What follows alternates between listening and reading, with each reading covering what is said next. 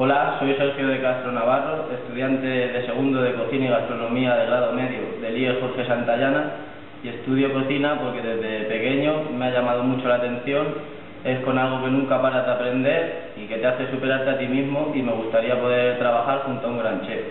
Bueno, ahora voy a presentar el plato principal que será a base de cochinillo ibérico y lo llamaré capeado de cochinillo ibérico, formado por pasta filo orejones de albaricoque, queso fresco del tieta y una yema de morcilla que será lo que corone mi plato. Ahora voy a presentar las guarniciones de mi plato, que la primera será un salteado de níscalos con ajo y con orégano. La segunda con productos feculantes será un puré de patata mezclado con crema de castaña y rebozado en granillo de almendra. Una vez rebozado le freiré a gran temperatura para que dore la, la almendra. Y la última y libre será una flor de higo relleno de requesón del tieta. Ahora voy a preparar el producto principal, que lo que haré lo primero será separar la piel de la carne mediante el cebollero.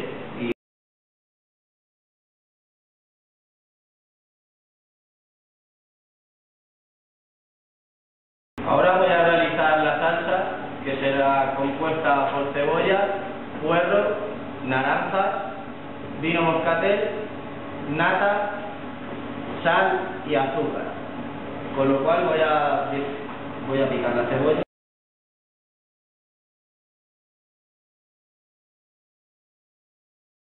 dos naranjas directamente exprimidas sobre la sartén. Bueno, una vez reducido un poquito el zumo de naranja, añadiremos el vino moscatel y dejaremos cocer hasta que se evapore totalmente el alcohol. Al final de la cocción, cuando ya haya añadido la nata, le añadiré una pizca de azúcar para que no cristalice la salsa. Bueno, ahora voy a realizar la guarnición de setas, que primero he laminado ajo y se sofríe en aceite a media temperatura, hasta que empiece a dorar el ajo. Ahora, después de haber dorado el ajo, añadiremos los níscalos y saltearemos durante 3 o 4 minutitos. Y esta es la elaboración tradicional del níscalo en el Valle del Pieta, por lo cual es lo que voy a utilizar yo. Ahora voy a proceder a realizar la flor de higo rellena de requesón. Cortamos la parte de arriba del higo y le damos dos cortes sin llegar hasta el final.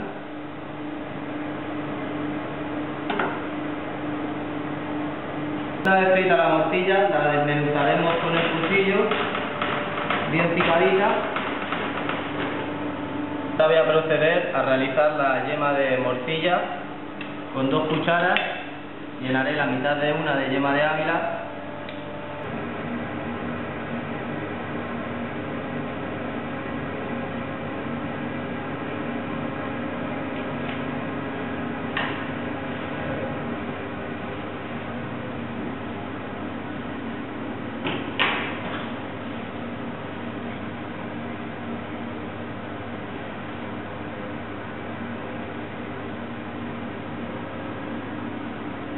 Ahora, después de haber salseado con la salsa de naranja y haber colocado mis dos bolas de patata con crema de castaña, voy a poner la seta salteada, que es el níscalo con ajo.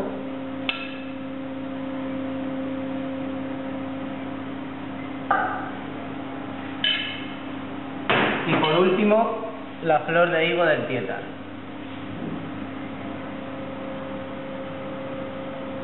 Y ya tendríamos terminado el plato.